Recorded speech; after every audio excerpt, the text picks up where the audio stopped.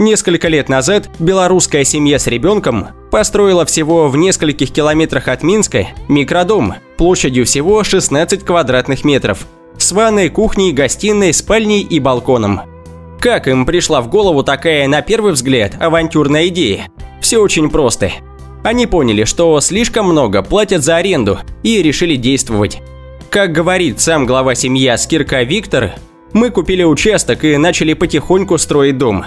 Но я довольно быстро понял, что делаю что-то не так. Тогда мы жили на съемной квартире и отдавали 350 долларов в месяц, плюс платили коммуналку. От дома до участка километров 40. Это время и деньги. Я прикинул, что только на один бензин уходило до 150 долларов в месяц. Тогда я задумался, зачем платить кому-то, если у нас уже есть своя земля? Семья решила построить компактный мини-домик, переселиться туда и тем самым экономить каждый месяц до 500 долларов.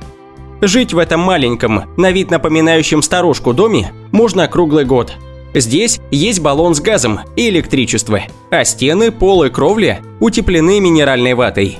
Виктор утверждает, что такому маленькому дому дополнительное отопление не нужно. Чтобы обогреть 16 квадратных метров, достаточно одного кондиционера. Он не выключается с осени до весны, настроен обычно на 20-22 градуса. Он работает даже тогда, когда никого нет дома, так что помещение не остывает – нет необходимости прогревать его дополнительно, вернувшись с работы. Что касается платы за электричество, то цифры для загородного дома смешные. В прошлом январе семья заплатила 1100 рублей, а за последние полгода – 3200 российских рублей. Из электроприборов в доме есть все необходимое. Холодильник, индукционная варочная панель, бойлер, чайник, вытяжка и компьютер. Все лампочки энергосберегающие – по сути, электроэнергия – это и есть вся коммуналка.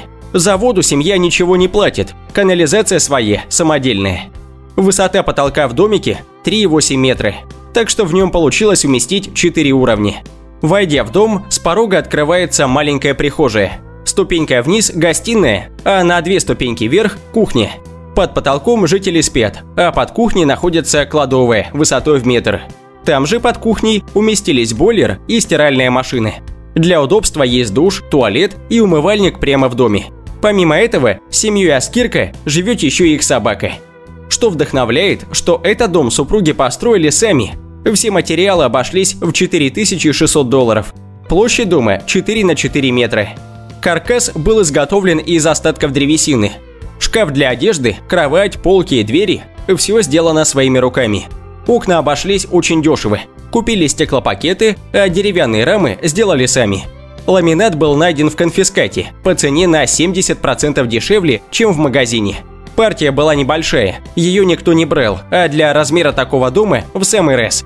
Стройматериалы заказывал в интернете, сравнивал цены и находил дешевле. Кухню не покупали, привезли свою со съемной квартиры. Наверху разместилась двуспальная кровать размером 1,4 на 2 метра и что-то вроде кабинета. Платформы над душем и туалетом служат чем-то вроде письменного стола. Сидя на кровати, можно работать за компьютером. Со слов супруги. Поначалу было непривычно, но со временем привыкли и теперь вообще не обращаем внимания. А летом здесь все иначе. Семья теплые вечера проводит на террасе, там же и ужинает. Плюс ко всему рядом есть озеро и красивая природа. Виктор утверждает, что им семьей в доме вполне комфортно. Вечером свет из гостиной на верхний уровень почти не проникает. Кто-то может работать, а кто-то отдыхать.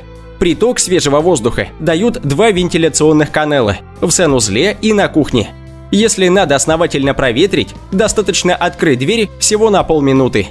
Оптимально такой дом подошел бы для одного человека или семейной пары. С ребенком немного тяжелее. Но это намного лучше, чем ежемесячно тратить по 500-600 долларов – эти деньги пойдут на строительство большего дома в дальнейшем.